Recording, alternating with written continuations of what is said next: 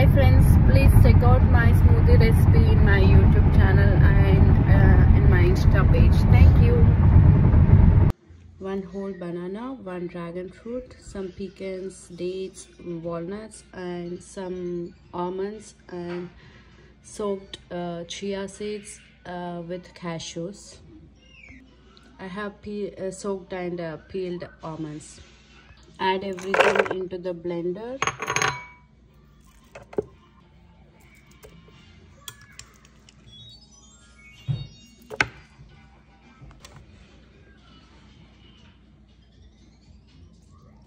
adding 1 cup of milk.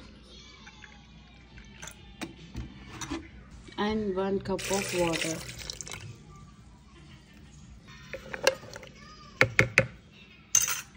Blend everything together.